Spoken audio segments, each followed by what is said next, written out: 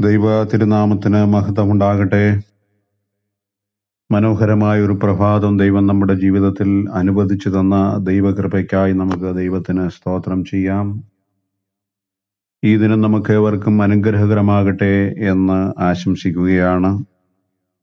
പുതുദിനം തിരുസന്നിധിയിൽ എന്ന പ്രാർത്ഥനാ നിമിഷങ്ങളിൽ നമുക്ക് ഒരുമിച്ച് ചേരാം. ഏതാനും മിനിറ്റുകൾ നമുക്ക് ധ്യാനിക്കാം പ്രാർത്ഥിക്കാം. ഒരു ഈവനിങ് കോളേജിന്റെ ക്ലാസ് റൂമാണ് രംഗം. അധ്യാപകൻ സൈക്കോളജി പഠിപ്പിക്കുകയാണ്. വിദ്യാർത്ഥികൾ എന്തുകൊണ്ടോ അത്ര ശ്രദ്ധയില്ലാതെ ഇരിക്കുന്നു. അവരുടെ ശ്രദ്ധയെ ആകർഷിക്കുവാൻ വേണ്ടി അധ്യാപകൻ പറഞ്ഞു ഇനി നമുക്കൊരു ഗെയിം കളിക്കാം. വിദ്യാർത്ഥികൾ ചോദിച്ചു എന്ത് ഗെയിം? എല്ലാവരും ആകാംക്ഷയോടെ കാത്തിരുന്നു. അധ്യാപകൻ പറഞ്ഞു കാർത്തിക മുന്നോട്ട് വരൂ. കാർത്തിക അവൾ വിവാഹിതയാണ്. അവൾ മുന്നോട്ട് വന്നു. അധ്യാപകൻ പറഞ്ഞു നിങ്ങളുടെ ജീവിതത്തിലെ ഏറ്റവും പ്രധാനമുള്ള മുപ്പത് പേരുടെ പേര് ഈ ബോർഡിൽ എഴുതുക. കാർത്തിക പ്രകാരം ചെയ്തു മുപ്പത് പേരുടെ പേരെഴുതി. അധ്യാപകൻ പറയുന്നു ഇനി അതിൽ പ്രാധാന്യം കുറഞ്ഞ മൂന്ന് പേരുടെ പേര് വിട്ടു. അവൾ സഹപാഠികളുടെ പേര് മായ്ച്ചു കളഞ്ഞു. വീണ്ടും അദ്ദേഹം പറയുകയാണ് ഇനി അഞ്ചു പേരുടെ പേര് വിട്ടു. അയൽക്കാരുടെ പേര് അവൾ വെട്ടിക്കളഞ്ഞു.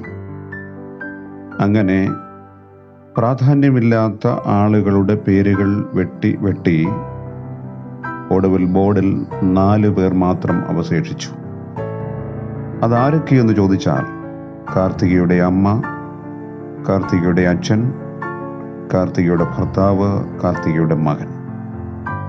അധ്യാപകൻ പറഞ്ഞു ആ അഞ്ചു പേരിൽ രണ്ടു പേരുടെ പേരുകൂടെ വെട്ടുക. അവൾ മാതാപിതാക്കളുടെ പേര് വെട്ടി. ഇനി ബോർഡിലുള്ളത് ഭർത്താവിന്റെയും തന്റെ പ്രിയപ്പെട്ട മകന്റെയുമാണ്. ഒടുവിൽ അധ്യാപകൻ പറയുകയാണ് അതിൽ ഒരു പേര് മായ്ക്കൂ പുറയ്ക്കുന്ന കരങ്ങളോടുകൂടെ കാർത്തിക മകന്റെ പേര് വെട്ടി.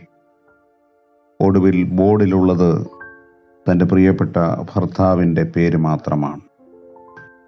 എന്തുകൊണ്ടാണ് ഭർത്താവിന്റെ പേര് മാത്രം ബോർഡിൽ അവശേഷിച്ചത്?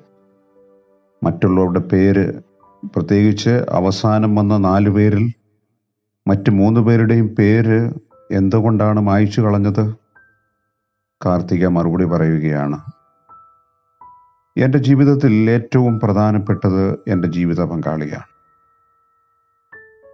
എന്റെ ജീവിതത്തിൽ എന്റെ മാതാപിതാക്കൾ എന്നിൽ നിന്ന് നഷ്ടപ്പെടും. അവർ ഈ ലോകത്തുനിന്ന് മാറ്റപ്പെടും. എന്റെ മകൻ വളർന്ന് പറക്കമുറ്റിയാൽ അവനൊരു വിവാഹം കഴിച്ച് അവൻ മറ്റൊരിടത്തേക്ക് ഒരുപക്ഷെ പോയെന്ന് വരും. എന്നാൽ ഒടുവിൽ എന്നോടൊപ്പം എന്റെ ജീവിതത്തിന്റെ അവസാനം വരെ എന്റെ ജീവിതം പങ്കുവയ്ക്കുവാൻ എനിക്ക് കൂടെ ഉണ്ടാകുന്നത് എന്റെ ജീവിത പങ്കാളി മാത്രമേ ഉള്ളൂ. ഈ സംഭവം അവിടെ അവസാനിക്കുകയാണ്. പ്രിയപ്പെട്ടവരെ ജീവിതത്തിൽ ദൈവം കൂട്ടിച്ചേർക്കുന്നതായിട്ടുള്ള ഭാര്യാഭർത്താക്കന്മാർ. മരണം വരെ പിരിയാത്ത ബന്ധമെന്ന് ദൈവത്തിന്റെ വചനം നമ്മെ ഓർപ്പിക്കുന്നുണ്ടല്ലോ. മാതാപിതാക്കൾ നമ്മളിൽ നിന്ന് വേർപെട്ടു പോകും. അവർ ഈ ലോകത്തുനിന്ന് മാറ്റപ്പെടും. കൂട്ടുകാർ ഈ ലോകത്തുനിന്ന് മാറ്റപ്പെടും. അയൽക്കാർ മാറും. നമ്മോടൊപ്പം ജോലി ചെയ്യുന്നവർ മാറിപ്പോകും. എന്തിനേറെ നമ്മൾ സ്നേഹിച്ച് വളർത്തുന്ന മക്കളും നമ്മളിൽ നിന്ന് മാറി അകന്ന് മറ്റു ജീവിതമാർഗങ്ങൾ തേടിപ്പോകും. അപ്പോഴും കൂടെ നിൽക്കുവാൻ ഒരാൾ മാത്രം നമ്മുടെ ജീവിത പങ്കാളി.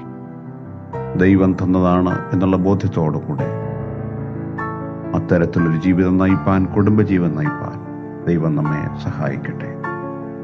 ദൈവമായ കർത്താവെ നല്ല പ്രഭാതത്തിനായി സ്തോത്രം. ഞങ്ങൾക്ക് എന്നിട്ടുള്ള കുടുംബജീവിതത്തിനായി സ്തോത്രം. ഞങ്ങൾക്ക് എന്നിട്ടുള്ള ജീവിത പങ്കാളികൾക്കായി സ്തോത്രം. കർത്താവെ ഞങ്ങൾ പരസ്പരം സ്നേഹിച്ചും സേവിച്ചും ജീവിപ്പാൻ ദൈവത്തിന്റെ വചനം ഞങ്ങളോട് ആഹ്വാനം ചെയ്യുന്നല്ലോ. ദൈവമായ കർത്താവെ ഈ ദിനം അടിയങ്ങളെ അനുഗ്രഹിച്ചാട്ട്. ഞങ്ങളുടെ യാത്രയിലും പോക്കലും വരവലും അങ്ങ് കൂടെ ഇരുന്നാട്ട്. കർത്താവിന്റെ നാമത്തിൽ തന്നെ ആമേൻ.